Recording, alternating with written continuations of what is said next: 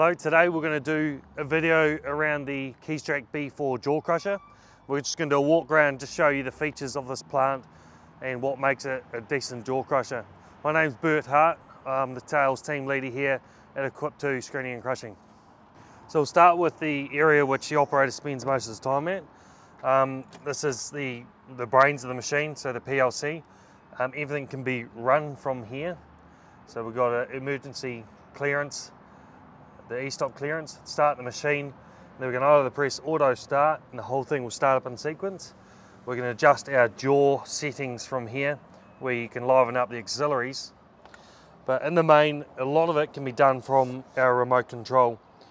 So once the engine started, we can hop in the excavator, press auto start. The whole plant will run up in sequence and we can adjust our feeder speed, our pre-screen speed, we can adjust our jaw settings while it's running, so it's the only machine that'll do that live. Um, so if our product's coming out a, bit, a little bit too large, um, we can close and we'll see the close side setting on the little screen here. So the great feature about the remote is um, also means that you're not hopping off your excavator, coming down to the controls to make your changes. So just minimizing that risk of breakage your leg or um, any health and safety incidents. It also means that we can track the machine while in operation. So we can, while it's running, we liven up the tracks on the two top buttons, hold that in for 10 seconds, which is a safety feature. Once that's live, we can then track the machine forward or back, um, particularly if, you know, if your loaders aren't keeping up with the, uh, with the finished product, we can just move the jaw back a little bit so we can continue processing. So we've also got in here the uh, corded remote. It's in the case of the battery runs flat on this. But we have got spare batteries. There's a charger through this little box here, which is charging the batteries all the time. And we've got our, um, our water suppression unit here. So we just plug a hose in and that suppresses our dust, mainly for likes of doing concrete or in higher dusty environments. So we're now up on top of the machine, overlooking the, the jaw box. The size of this opening in the jaw is 1100 wide by true measurement is 800 deep. And as you see, this jaw, the moving jaw comes right to the top, so it's live right to the top. The previous models were about another 200 mils below. The reason that we've lengthened that is to minimize any blockages that can occur of a, of a big rock entering the chamber. So these jaws are called a Keestrack non-stop jaw system the way that works is there's a couple of big cylinders in behind the jaw and that enables us to adjust the close side setting while we're on the fly. And in the case that there's a piece of steel like a, a track, track roller goes into this chamber, um, it'll sense that pressure and it'll open up in three increments. And then finally, if that object is too big, that'll close down the whole jaw. The reason for this, it means that the plant, um, you don't damage a toggle plate. So with a Keestrack, you should really replace the toggle plate from um, breaking the toggle plate. So it's got its onboard safety system. Now in the case of a hard rock application, you might say, well, we get some rock that's very, very dense.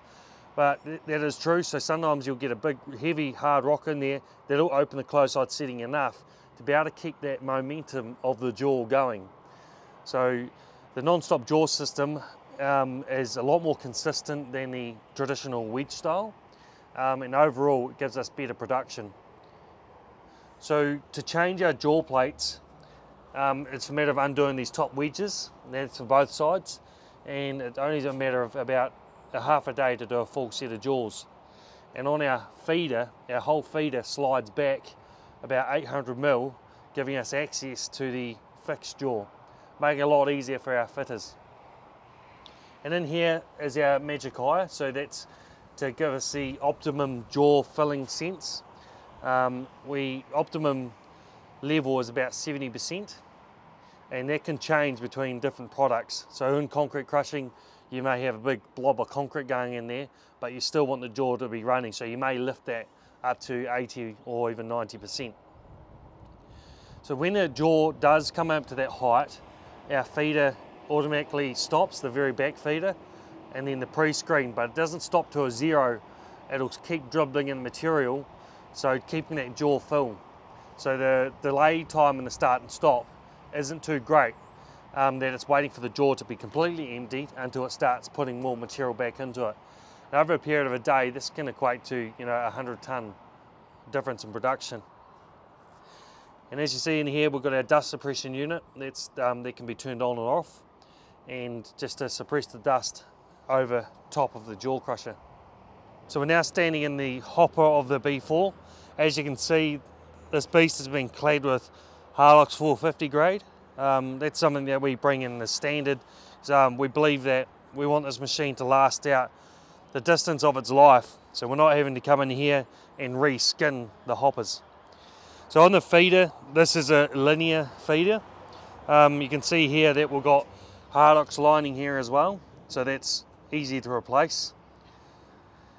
And then we're dropping onto our double deck pre-screen.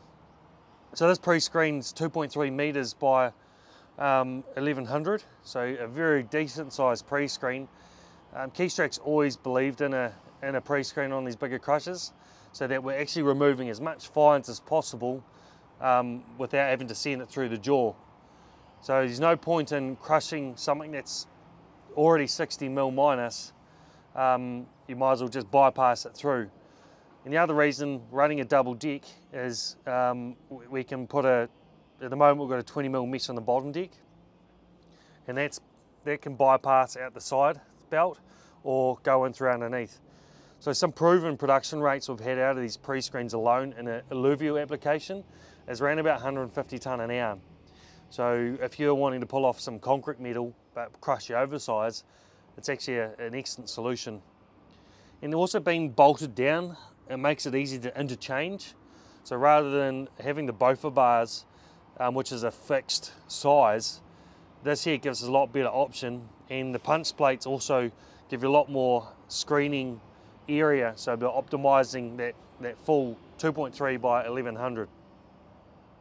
As you see also on the side of the screen box here, it's got um, cladded with Hardox as well.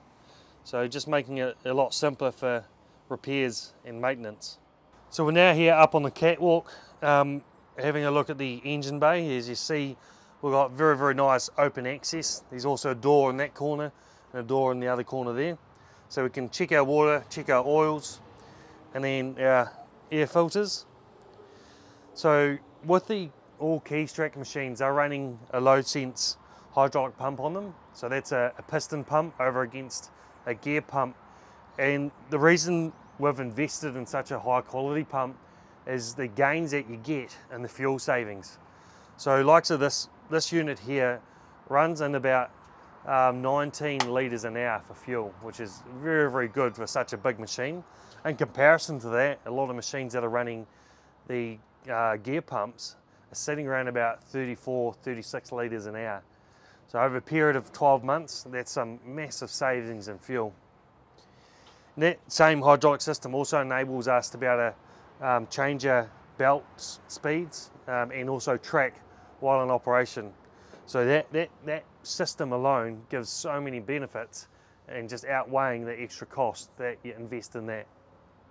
Like most machines, we have the magnet belt fitted on the unit um, obviously this is mainly for uh, recycling applications, but it's also important so that we're pulling out any steel, particularly if we're feeding to a secondary crusher like of a cone. So this here is a little bit different to other designs. This is a single pole magnet, so it's sending all the energy to, to one point, and we can lift it up and down with the hydraulics. So in the event where you may get a bit of blockage or bird nesting, we call it, of reinforcing, we're able to lift that up. Then while we're on that subject, underneath here on the main conveyor of the Keestracks, that section of frame is actually made of stainless steel. So that is not always pulling on the magnetic fields of the magnet. So over a period of time with a magnet, if you're always pulling on the likes of a mild steel, the, the lifetime of the magnet actually reduces because it loses its magnetic forces.